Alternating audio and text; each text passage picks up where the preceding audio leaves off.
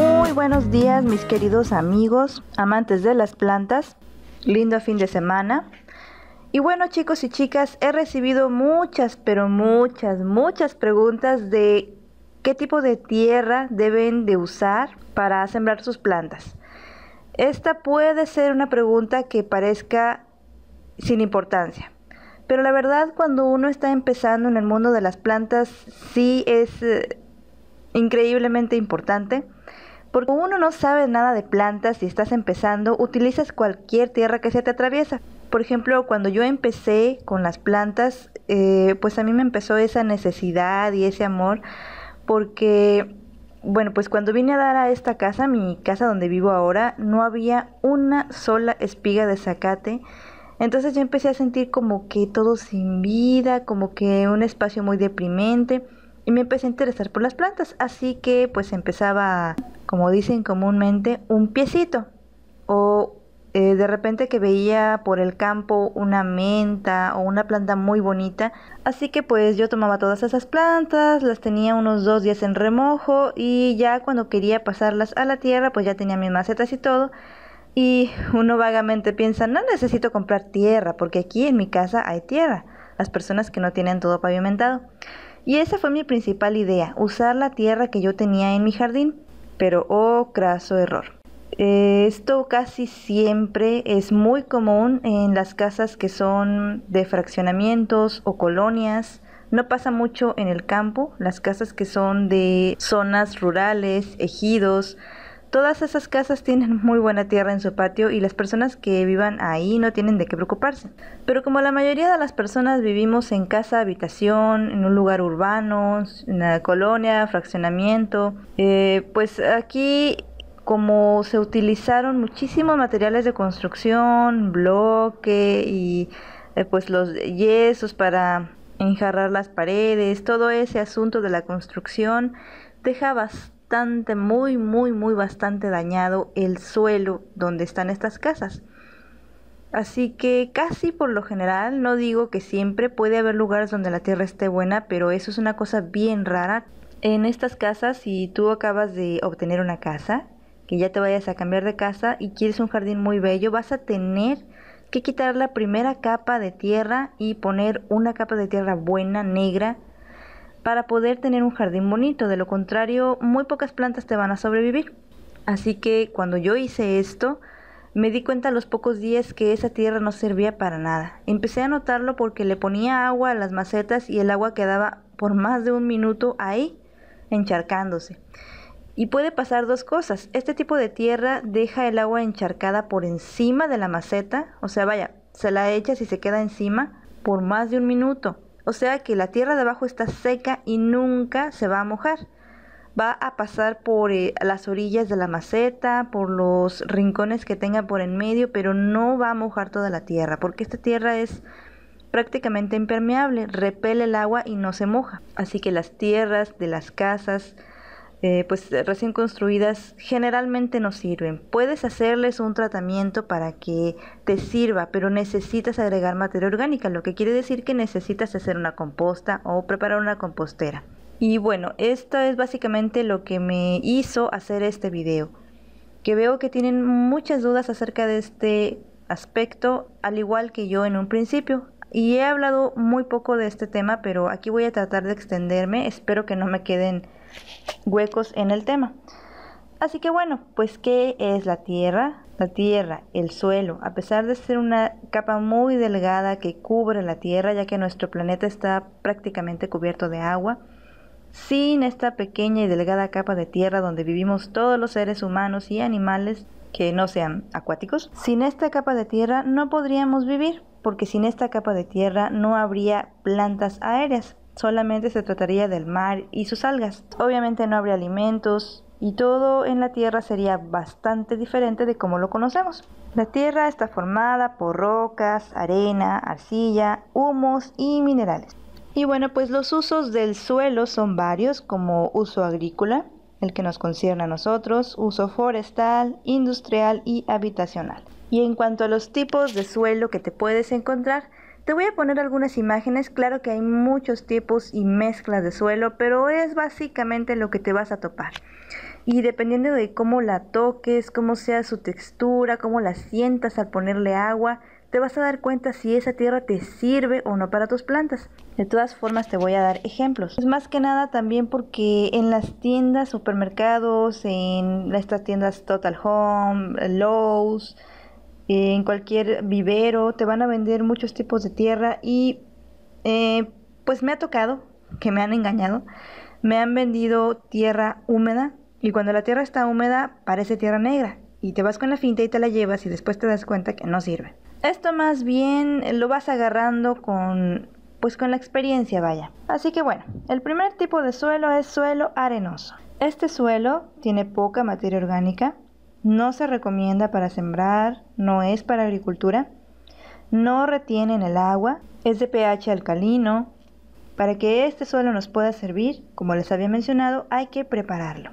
Podemos hacer combinaciones de otros tipos de suelo que nos sirvan mejor y utilizar materia orgánica. Su textura es de granos pequeños y sueltos, no forma terrones de arena, que eso quiere decir que cuando la aprietas no se comprime, se deshace. Y bueno, pues esto es lo que nos ayuda a que en algún momento si queremos hacer que cambien sus propiedades, nos funcione, ya que tiene buen drenaje. Como no retiene el agua, no se va a encharcar. Las plantas que puedes sembrar en este tipo de suelo, por ejemplo, son salvia, romero, lavanda o hinojos. Los suelos calizos que pues a veces abundan en las zonas desérticas son suelos de color blanco generalmente, contienen muchas sales calcáreas eh, no absorben muy bien el agua, son muy duros, son muy áridos y muy secos. No sirven para sembrar. Quizás podríamos arreglar este suelo mezclando con otros tipos de tierra y materia orgánica, pero este sí es muy difícil de que nos funcione. Si en tu casa, donde vives, en tu área, tienes este tipo de suelo, pocas plantas se van a adaptar, por ejemplo, las que son suculentas. Los suelos humíferos, llamados también tierra negra. Este suelo es el mejor de todos para plantar. Tiene gran cantidad de materia orgánica en descomposición es muy buena para retener el agua, tiene un pH ácido, forma un poco de grumos, pero las bolas se deshacen con facilidad por la materia orgánica.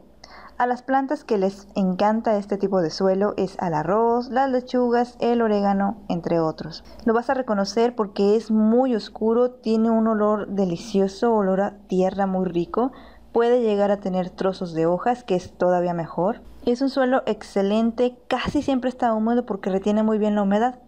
Lo puedes encontrar entre los bosques, entre zonas donde haya mucha vegetación, en lugares muy boscosos donde haya una cama de hojas sobre la tierra, lugares puedes retirar las hojas y debajo de estas hojas casi siempre vas a encontrar tierra negra. Muy pero muy excelente para sembrar. Suelos arcillosos. Este suelo está formado por obviamente arcilla, son pequeños granos finos, color amarillo, color clarito. Retienen el agua en charcos. Quiere decir que el agua se encharca. Tampoco es muy bueno para sembrar por sí sola. También se puede arreglar agregando otro tipo de suelo, agregando humus, materia orgánica. También les voy a dejar el link de Prepara tu composta casera y Super Composta en tres meses para que lo revises. Esta sería una forma de reparar suelos que no nos sirven si no puedes ir y comprar costales de tierra buena. También existe la forma en que tú lo hagas, aunque claro es un poco más lento, pero es mucho, muy barato y muy eficiente. Ayudamos al planeta en muchas formas. El suelo arcilloso se usa en labores de alfarería, lo que es los jarrones de barro, tazas, platones. Este suelo en general tiene pésimo drenaje, no nos sirve para las plantas porque como el agua se encharca se puede quedar encima de la planta y pudrirla por arriba o entre pasar un poquito para adentro de la tierra pero no se va. El agua no puede pasar, se queda ahí por mucho tiempo, es una tierra terrible. En un momento les voy a poner un ejemplo de cómo es que te vas a dar cuenta si tú tienes plantas en tierra que no sirve. Y bueno, obviamente la tienes que cambiar porque esta planta o no está recibiendo buen drenaje o se está ahogando entre el agua porque tú le pones agua un día y pasan tres y le vuelves a poner y el agua que le habías puesto hace tres días no se fue.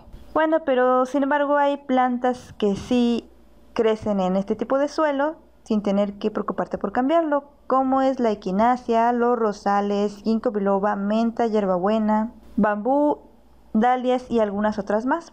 Los suelos pedregosos. Estos suelos se encuentran casi generalmente en zonas de ríos, zonas montañosas, ya que por eh, las lluvias baja mucha agua, baja mucha piedra y bueno, son piedras lavadas que quedan en arroyos o ríos. Y aquí existe toda clase de rocas, piedras, no retienen el agua, son pésimas para sembrar, es muy duro. Hay piedras de todo tipo, de todo tamaño, no nos sirve la verdad. En este tipo de eh, sitios solamente pueden crecer plantas como algas o malas hierbas. Eh, el diente de león puede crecer ya que esta plantita gusta mucho de crecer en todas partes. El suelo mixto o suelo franco. Este es un suelo arenoso más arcilloso.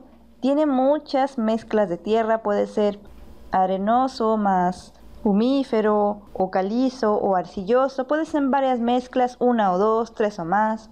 Este es el suelo que la mayoría de los botánicos recomienda para las plantas, ya que la mayoría de las plantas se da muy bien en este suelo, ya que por su composición ayuda mucho a la producción agrícola.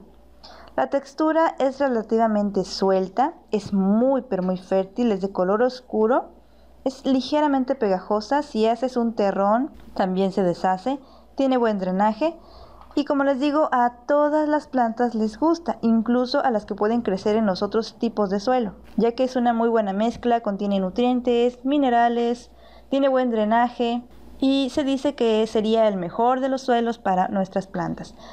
Pero en sí, esto es eh, pues un resumen de lo que te puedes topar. Sin embargo, cuando tú ya estás en la práctica de las plantas, eh, pues no vas a pensar, bueno, ¿y qué tipo de suelo tengo yo? A menos que sea muy obvio que es calizo, es blanco y no pasa el agua. Pero bueno, pues aquí te voy a dejar eh, básicamente cuándo es que una tierra no te sirve, la tienes que arreglar, y cuándo es que tienes una tierra muy buena para tus plantas. Es un ejemplo en general. La tierra que es impermeable es como esta que tengo aquí. Eh, bueno, pues a veces nos pasa que nos llegan a vender un costal con tierra supuestamente buena, que nada más le ponen unos eh, cuantas hojas secas para que tú te vayas con la cinta. Cuando la tierra está húmeda y bueno, pues tiene muchas hojas secas, parece que es tierra buena. Pero bueno, hace falta que te des cuenta de cómo es la tierra que no debes de usar en tus plantas. Digamos que los únicos que la soportan muy bien son los nopalitos y esto porque son plantas desérticas que soportan todo tipo de suelos pero para nuestras plantas normales no nos conviene usar este tipo de suelo. Es muy digamos peligroso para, nuestras plantas y bueno nosotros no nos damos cuenta que las plantas la verdad se están muriendo de sed. Eh, tú te vas a dar cuenta cuando está seca esta es la apariencia de este suelo.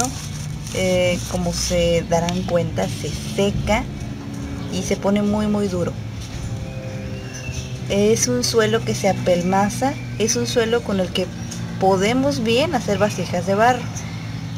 Cuando está mojado no es muy notorio, porque casi siempre esta me la vendieron y estaba el día lluvioso, estaba húmedo, no me di cuenta que esta tierra no servía, porque cuando la tierra está húmeda parece tierra buena.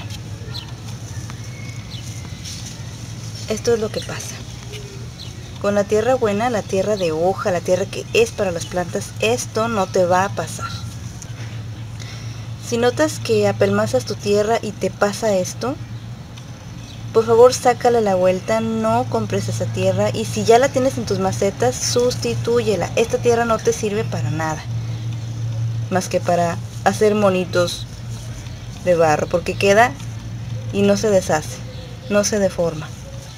Tú vas muy feliz por ahí, creyendo que tu plantita le pones agua y pues dijiste, ya la regué, ya no va a tener sed y yo creo que pues si es una planta como esta suculenta no voy a tener que regarla en un buen tiempo.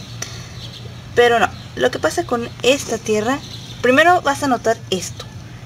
Ya desde un principio que empiece a pasar esto, esa tierra no sirve. Tú ya te tienes que estar dando cuenta de que algo está pasando. La tierra, el agua se está quedando demasiado tiempo y tú crees que le está sirviendo a tu planta y no es así, se está yendo por las orillas. ¿Por qué? Porque esto es lo que está adentro. ¿Sí? Está muy apelmazado, está impermeable, va a dejar pasar una mínima cantidad de agua, digamos que el agua va a llegar como hasta por aquí y lo demás se va a ir por las orillas. Y si lo abrimos, por dentro va a estar seco. Ya me ha pasado muchas veces que abro o cambio la planta del lugar o hago, eh, le remuevo la tierra y me doy cuenta de que adentro está seco y acabo de echar agua ese mismo día en la mañana o un día anterior. Si acabas de regar la planta un día anterior y remueves al día siguiente, la tierra tiene que estar húmeda. Revisa todas tus macetas, remueve la eh, tierra, si comienzas a darte cuenta que en el fondo está muy reseco, esa tierra es completamente impermeable y no está dejando pasar el agua, aunque tú creas que sí. Y bueno, mis queridos amigos, este ha sido un ejemplo básico de cómo tienes que tener tu tierra, cómo tiene que ser. No es precisamente que sea negra, pero en general dicen que es negra porque la tierra negra tiene mucha materia orgánica. Y bueno, pues como les digo, hay muchos tipos, hay mixtos, hay de hoja, hay eh, pues con materia orgánica. Eh, en realidad no les puedo decir exactamente qué tipo de, tierra pueden utilizar. Sin embargo, ustedes al ver su planta, al ver este ejemplo que les puse, pueden darse una idea de si sus plantas tienen buena tierra o no. Y bueno, otra cosa también muy importante, también les voy a dejar el link de pues cuándo saber que hay que trasplantar una maceta y aquí también se van a dar cuenta que necesitas darle cierto mantenimiento para, por más buena que sea la tierra, al tú estar eh, teniendo tus, plantas por más de un año regando y regando, una, se va a ir eh, el agua, va a ir lavando la tierra, le va quitando nutrientes, se va yendo por los pocitos de las macetas pequeñas cantidades de tierra, pero que en un año o dos ya hacen que la cantidad de tierra que tenías en tu maceta baje casi a la mitad. Tienes que tomar en cuenta esto y que al menos cada seis meses tienes que remover toda la tierra de tus macetas. Vaya, no sacar la planta, pero sí tomar, no sé, una tenaza y con esto remover muy bien la tierra, fertilizar cada seis meses y tus plantas estarán al 100 agradeciéndote muy preciosas. Y esto es independientemente de si tienes tierra buena o no. Si no tienes tierra buena vas a notarlo porque por más que le eches agua a la planta parece que siempre se está secando. O simplemente empiezas a ver que empieza a haber pudrición de raíz.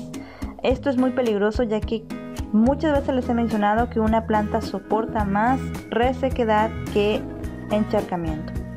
Bueno chicos, revisen muy bien las plantas de su jardín, sus árboles, denle una removidita a la tierra y bueno, pues aunque no le pongas fertilizante, esto les va a ayudar bastante. Chicos y chicas, espero haber aclarado sus dudas. Si tienen más dudas acerca de suelo, no olviden poner en comentarios. Esto es básicamente lo que yo hago. Los veo en el siguiente video. Cuídense y cuiden sus plantitas. Bye.